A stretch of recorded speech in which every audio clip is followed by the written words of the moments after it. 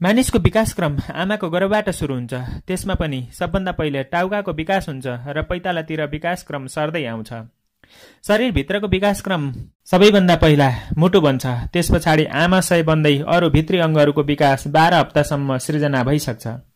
त्यसैले आजको हेल्थ टिप्समा म तपाईँहरूलाई गर्भमा बच्चाको विकास हुँदा कति हप्तामा के के कुराहरू बन्छ आँखा कान हात खुट्टा तथा लिङ्ग निर्धारण कति हप्तामा हुन्छ भन्ने विषयमा विस्तृत रूपमा व्याख्या गर्न गइरहेको छु। यो भिडियो पुरा हेर्न नभुल्नुहोला गर्भ अवधि हप्ता तथा महिना अनुसार बच्चाको विकास क्रमको कुरा गर्दा यी शब्दहरू बुझ्नु जरुरी हुन्छ।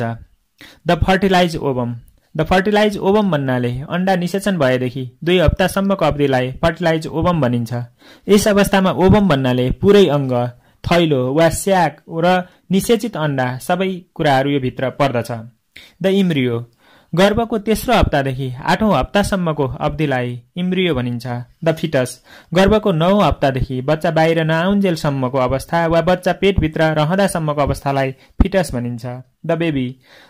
द बेबी भन्नाले जन्म मार्गबाट छुट्टिसकेपछिको जिउँदो बच्चालाई बेबी वा शिशु भनिन्छ। फर्टिलाइज ओभमको पहिलो तीन हप्ता निषेचित अन्डा अङ्गुर आकारको हुन्छ जसलाई कोरियोनिक भिलाइले घेरिराखेको अवस्था हो। यसमा कुनै मानवीय गुणहरू देखिएका हुँदैनन्। नम्बर एक पुरुषको शुक्रकिट र स्त्रीको डिम्बको मिलन भई निषेचन भएको बाह्र घण्टादेखि छत्तिस घण्टाभित्र गर्भधारण भइसक्दछ। नम्बर दुई गर्भधारण भएको छेडदेखि दुई हप्तासम्मको अवस्थालाई डिम्ब अवस्था पिरियड अफ ओभम भनिन्छ। नम्बर तिन जाइगोट पाठेघरमा आई बसिसकेपछि यो धेरै पटक विभाजन भई भित्री र बाहिरी तहमा छुट्टिन पुग्छ। भित्री तहमा छुट्टिएका जीवकोषहरू अङ्गुरको झुप्पा जस्तो बन्दै मानवीय विकासको सुरुवात हुन्छ भने बाहिरी तहमा छुट्टिएका जीवकोषहरू अम्बिलिकल कड प्लेसेन्टा एम्नियोटिक स्याकका रूपमा विकसित हुन थाल्छन्। यसरी गर्भधारण भएको दस दिनपछि मात्र जाइगोट वा भ्रूणको रूपमा गर्भनालद्वारा आमाको गर्भाशयसँग जोडिन्छ र विकास हुन थाल्छ। यसरी यो अवस्था चौध दिन मात्र रहन्छ।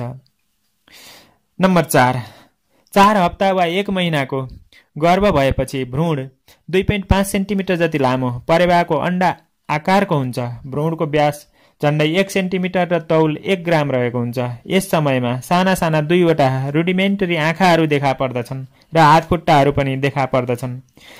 यही चार हप्तामै मुटु निर्माण भई कार्य गर्न सुरु गर्दछ तर बाहिरबाट मुटु चलिएको थाहा हुँदैन। यसै समयमा टाउको र स्नायु प्रणालीको पनि विकास सुरु हुन्छ। साथसाथै मुख चिउडो घाँटी तथा रगत र रक्त सञ्चार प्रणालीको पनि विकास भइरहेको हुन्छ।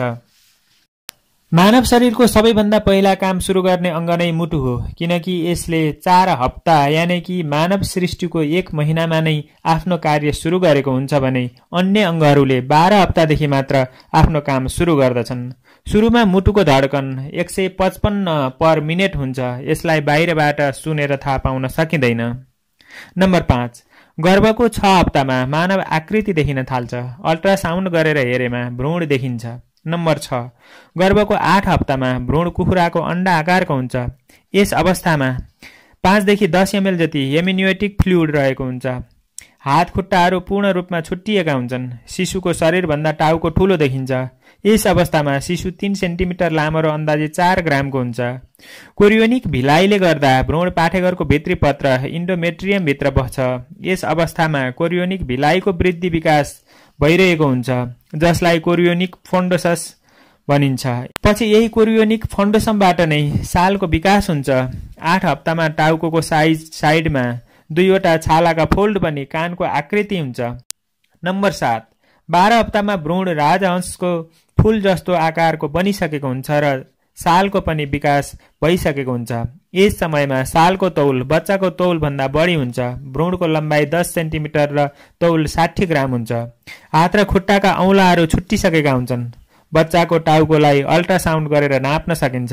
यस अवस्थामा रक्त सञ्चार प्रक्रियाको पूर्ण विकास भइसकेको हुन्छ। यो बेला बच्चाले आफ्नो मुख पहिलो पटक खोल्न सक्छ र बच्चाको लिङ्गको विकास हुन लाग्छ। छोरा वा छोरी के हुने भन्ने कुरा त्यहाँबाट निर्धारण हुन लाग्छ।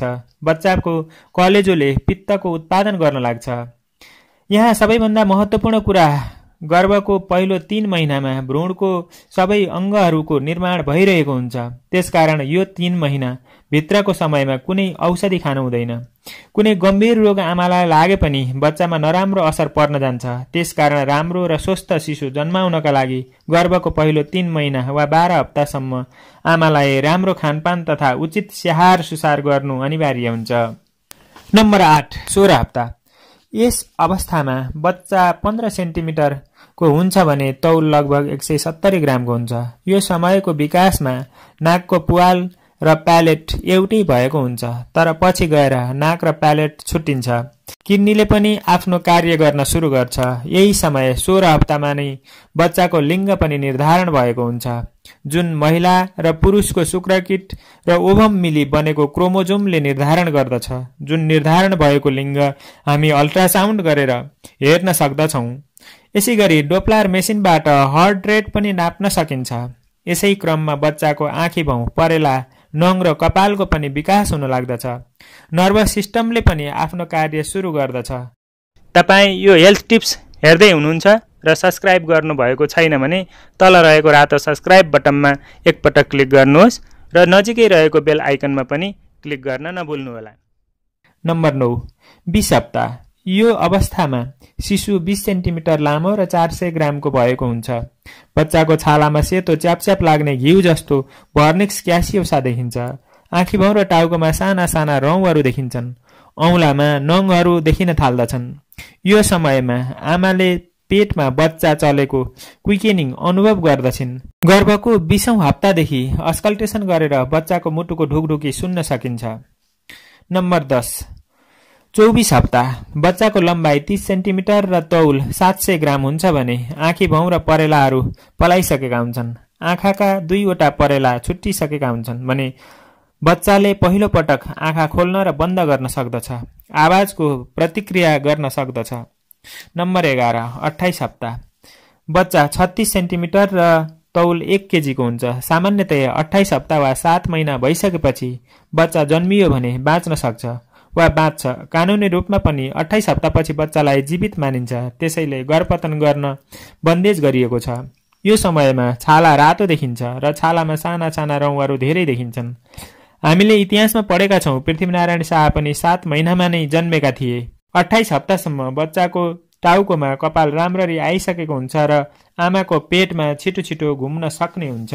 नम्बर बाह्र बत्तीस हप्ता यो समयमा बच्चाको लम्बाइ चालिस सेन्टिमिटर र तौल एक पोइन्ट पाँच केजी भएको हुन्छ। छालामा रातोपना अलिक कम हुन्छ र चाउरिएको हुन्छ। रौँहरू कम मात्रामा देखिन्छन्। भर्निक्स क्यासियोसा धेरै मात्रामा देखिन्छ। बच्चाको वृद्धि विकास तीव्र रूपमा भइरहेको हुन्छ। बच्चा धेरै चलिरहेको हुन्छ र शरीरका भित्री अङ्गहरूको विकास पनि तीव्र गतिमा नै भइरहेको हुन्छ। नम्बर तेह्र छत्तिस हप्ता बच्चा छयालिस सेन्टिमिटर र तौल दुई पोइन्ट पाँच केजी रहेको हुन्छ। छाला मुनि बोसोको मात्रा बढ्दै जान्छ। हातको हत्केला र खुट्टाको पैतालाहरूमा धेरै रेखाहरू देखिन्छन्। नङ औँलाको टुप्पोसम्म पुगिसकेको हुन्छ। कानमा कार्टिलेज भने नरम खालको भएको हुन्छ। छाला पिङ्क रङको हुन्छ मुटुको ढुकढुकी राम्रो हुन्छ। फोक्सोले काम गर्न पूर्ण विकसित भएर बसेको हुन्छ र बच्चाले टाउको पनि राम्ररी घुमाउन सक्ने हुन्छ र आँखा बन्द गरेको हुन्छ। नम्बर चौध चालिस हप्ता। बच्चाको लम्बाइ पचास सेन्टिमिटर र तौल दुई पोइन्ट पाँच केजीदेखि तीन केजीसम्म हुन्छ। बच्चाको परिपक्वता मूल्याङ्कन गर्न उचाइभन्दा तौल नै राम्रो मानिन्छ। त्यसकारण दुई पोइन्ट पाँचदेखि तीन केजीसम्म तौल भएको बच्चालाई सामान्य बच्चा मानिन्छ।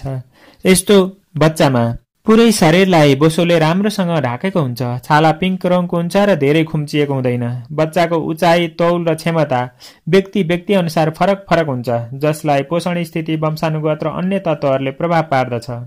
यस्तै छोरीभन्दा छोराको तौल केही बढी हुन्छ। यही चालिस हप्तामा नै बच्चाको जन्म हुन्छ जम्मा दुई सय अस्सी दिन आमाको गर्भमा रहेर बच्चा यस धरतीमा आउँछ। यसरी जन्मदा एक हप्ता तलमाथि पर्न सक्छ जुन निषेचनको समय आमाको स्वस्थ अवस्था र अन्य कारणहरूले केही मात्रामा प्रभाव पार्दछ।